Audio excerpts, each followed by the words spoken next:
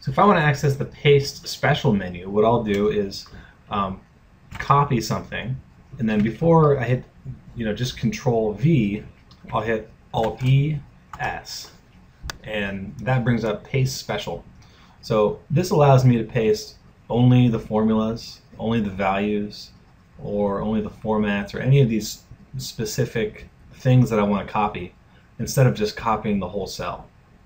Um, it also has these other operations that I can that I can copy, like um, adding and subtracting, multiplying and dividing. It allows me to transpose and to do you know skip blanks. So these these features I'll cover more in depth in a later video, but just um, so you get the sense of how it works. If I have some text here and it's bold and underlined, if I want to copy this and paste special just the value, right? Not not I don't want the bold and the underline. I just want the value of the cell.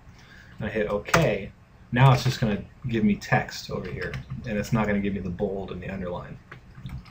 Uh, in a similar way, if, if I just, um, you know, let's say I change this to uh, the number two, and um, I like this formatting, right? So I want this to be formatted the same way what I can do is I can copy this and come over here on top of this cell and hit Alt E S, and I just want to copy the format, or sorry, the, uh, yeah, the format right here.